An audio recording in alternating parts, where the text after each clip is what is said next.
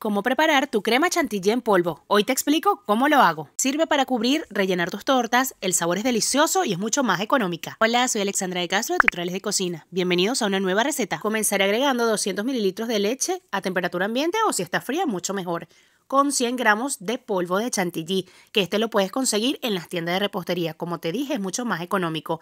Remueve un poco para que todo se una y no salga todo ese polvo a la hora de batir. Luego comenzaremos a batir aproximadamente unos 5 minutos o hasta que haya triplicado su volumen y quede bien esponjosa y firme. En este momento me gustaría saber de qué país o de qué ciudad me miras para enviarte un saludo especial en la próxima receta. Los saludos del día de hoy son para Nelly Dabracho desde Barinas, Venezuela y Raúl Jiménez desde Perú. Gracias por siempre ver y disfrutar mis recetas. Ya la crema chantilly en polvo estará lista para rellenar o cubrir tus tortas. Puedes saborizar como más te guste. Yo la hago de chocolate, de dulce de leche y queda buenísima. Me gustaría que calificaras esta receta del 1 al 10 para saber si te gustó el resultado. Gracias por haber mirado esta receta hasta el final. Los quiero un montón.